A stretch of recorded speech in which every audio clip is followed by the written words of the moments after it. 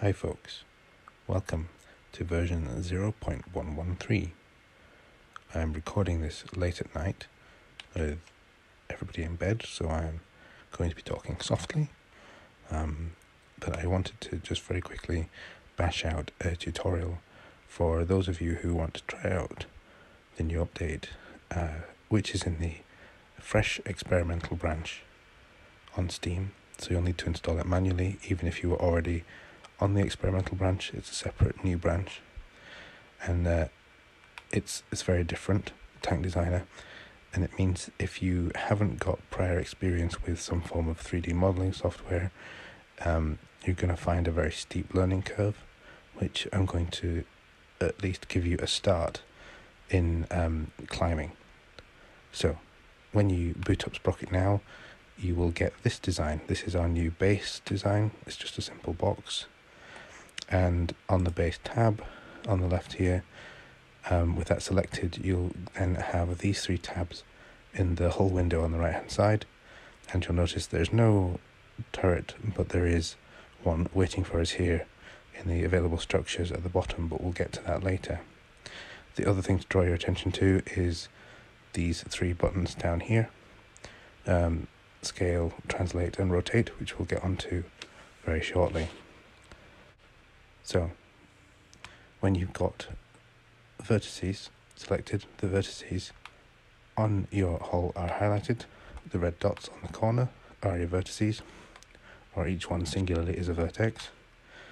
And to select them, you do not left click them, you right click them. Then this tool appears, which allows you to manipulate them. While we've got translate selected, it means we can move them like this in all three axes.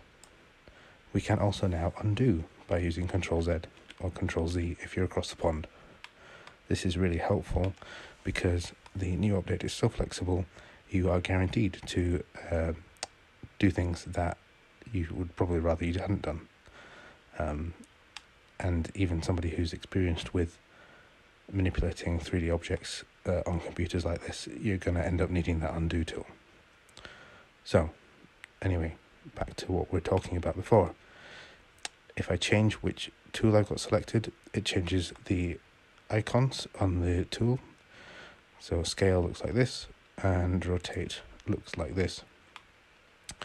Now, um, as you probably saw when we were doing translation, um, although only one vertex is currently selected, um, mirroring is automatically applied um, for the most part when you're making these edits.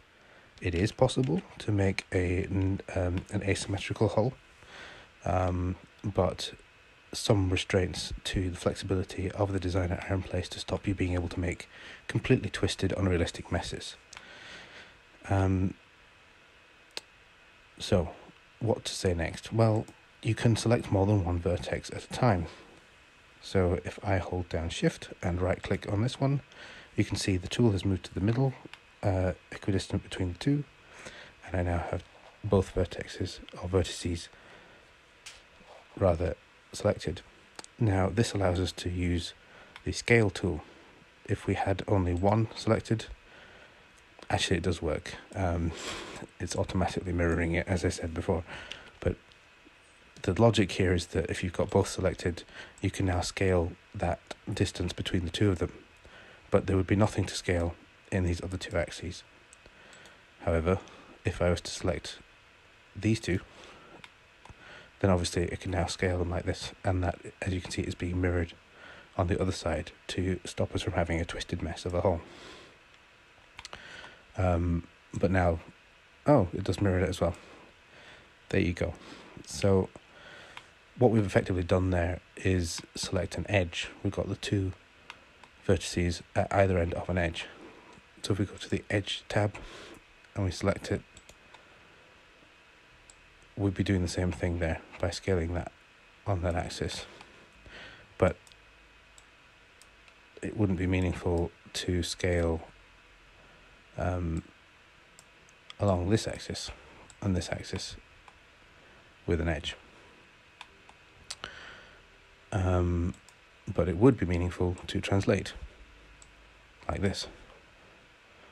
Um, rotation is somewhat limited. You can't, again, as I say, make a twisted mess of a hull by rotating here.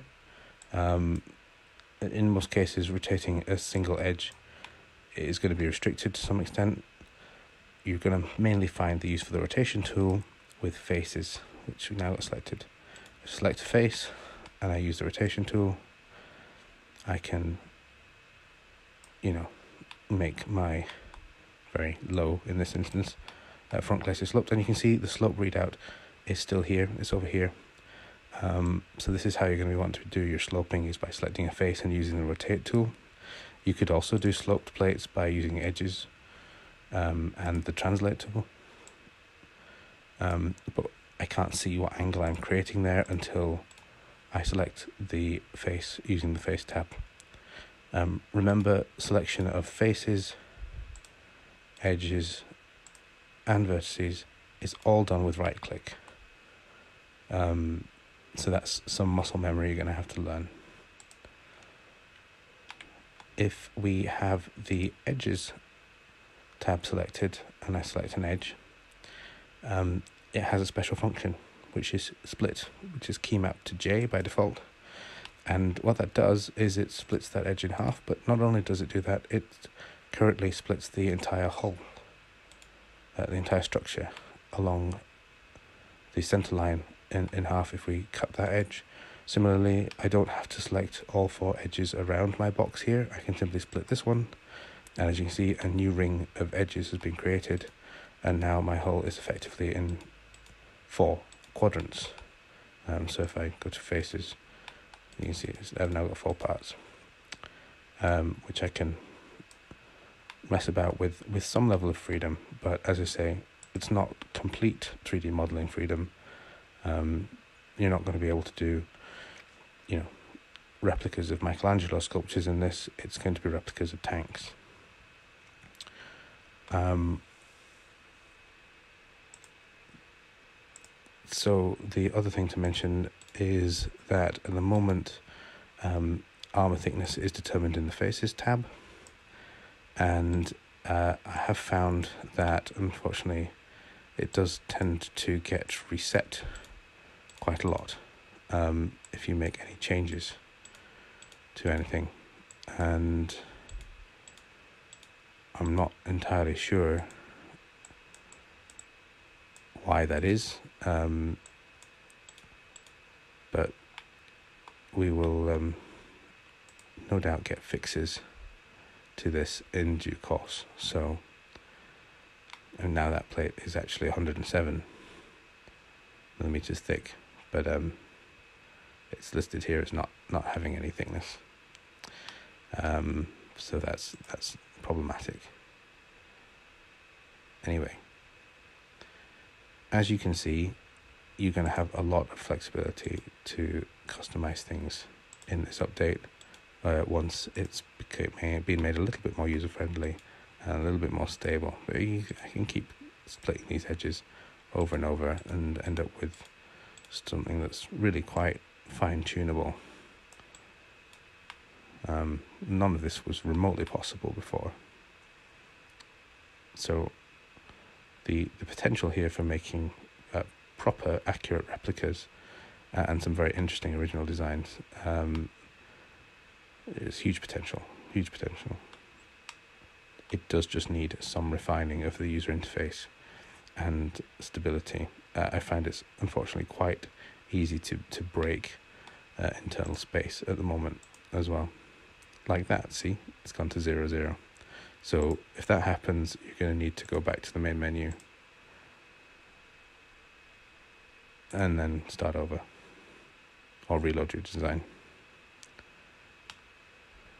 Um, the other thing to mention is on the faces tab, if you select a face, you can now um, extend it, which works like this. And so that is now a, a structure on top of my original structure. And I can do that again.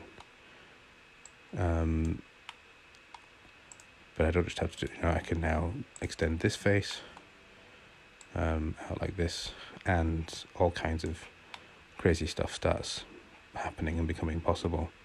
Um, equally, you can delete a face, and then all of a sudden we can see into the interior of the tank, which means that um, open topped designs and things are entirely possible now, I guess. Um, if you're feeling sufficiently daring to try it out. Um, so that's basically all I want to talk about for the the hull tools. Um, you really are just going to have to play about with um, translation and rotation and things like that to find out how they work in their individual contexts. But uh, try not to be intimidated by it. It does all make sense. Um, it's just a matter of, of learning to think in the brain process of, of editing my vertices on my edges, on my faces, using the tools scale, translate, and rotate to get the desired effect. And obviously, cutting your edges to create more faces and vertices to edit is is is the, probably the the main um, skill you need to learn in terms of shaping your hulls. Then in the structures tab, we can add turrets. Um, and these are edited in exactly the same way. Um, faces, edges, and vertices tabs, and I can I can cut it in half just like before. I can, you know, start to make something that looks vaguely turret shaped. Um, relatively quickly. Um, you can edit the ring height and diameter. The basket space is now a separate slider, which is cool. Um, and obviously the the torque and ratio for the the turret traverse is now here. Um, and that, that those functions appear on, on each of the three tabs. Um, you can add more than one turret. You can add them on the sides you can add turrets on top of turrets, and they each get internal space. Um, and they will each have their own motor, um, but these will not move at the moment because they won't have uh, crew in them and they won't have a gun. And it's the having a, a gunner and a gunner sight and a weapon that is what the game's coded around to um, cause the turrets to rotate in the direction that the gun is pointing basically. So they're just there for um, aesthetics. You can't fix them in place anymore like you could before. The turret there's not a checkbox to fix the turret, um, but you wouldn't need to because you would just um, create a face that you could extrude, um, like we said, using the extend tool here, and, and that would be effectively your your fixed turret if we if we reset everything. Um, and then I was to go to edges, select the edge, J, so I cut that, select this face, extend, um, and I want translate, pull that up, and then look, I've got my fixed turret casemate right here very basic. Um, similarly, if I want to, you know, put a, a simple front glacis on this, cut that edge, makes a ring of edges around my tank now. Select that top edge. I can do an upper glacis by dragging that back, or my preference would be to do it through faces and use the rotate tool to give me the angle I want um, but it's really up to you. There's more than one way to skin a cat, and there's more than one way to make the shape that you want um, using these tools. So just there's no wrong way to go about it. I don't think it's just whichever feels uh, the most intuitive and natural for you. Uh, do that. Uh, the other thing that's changed in this update is that you can now uh, scale all the features individually. Um, so if I right click on them, it selects them, and then I can rotate in every axis, axis conceivable. And if I change the tool, I can translate them through the hull, what have you, um, and I can scale them, but not just universally. I can I can scale on each axis, which can do all kinds of crazy and interesting stuff. Um, so that's going to allow us to do some really cool looking things. Um, there's some things being added to the, the structural tab, like these, and fender fronts. Um, so that that's all interesting. One, of course, they are equally as editable. Uh, whoops, lost that one. Uh, let's see what scaling this out can do. I mean, yeah. So have fun with that. Um, and I think that's everything that there is really to talk about just now. Um, so hopefully, as I say, soon we'll get. Oh no, there was one more thing. Sorry, before I go, uh, back to faces, back to our hull. Um, if I select this face and I select the translate, your hull can now phase through your tracks. Um, why would you do this? Well, because it just increases again the flexibility of the design that you make. But this is going to, you know, make um, Churchill esque designs or um, early war uh, World War One tanks with um, sticking out through the through the tracks or whatever. Just that a bit more um, simple to replicate. You know, uh, it's not for me to tell you how and why you would justify doing this. The fact is that you now can. Uh, and if I stick a, a driver's viewport on here, uh, it's it's still going to work, even though the hull goes through the tracks. So have fun with that. Um, a quick note about Teabag. I'm not going to be using this new update for the next round of Teabag just because it's not stable enough and it's not yet uh, the UI isn't there yet to make it accessible enough for a, fair contest to be held in it. I don't think so. We'll carry on using um, the experimental branch version zero point one one two one uh, for for Teabag until such time as uh, zero point one one three uh, reaches a level of polish that I think it's then suitable for the purpose of running the contest in. But I'm very excited to see what people do with the added flexibility this update gives when we get to that point. Uh, I hope this was helpful. It's certainly not exhaustive. Uh, sorry, it's quick and dirty. I don't have uh, the time uh, or probably the expertise to do any better, but it will hopefully get some of you uh, started at least. Take care out there.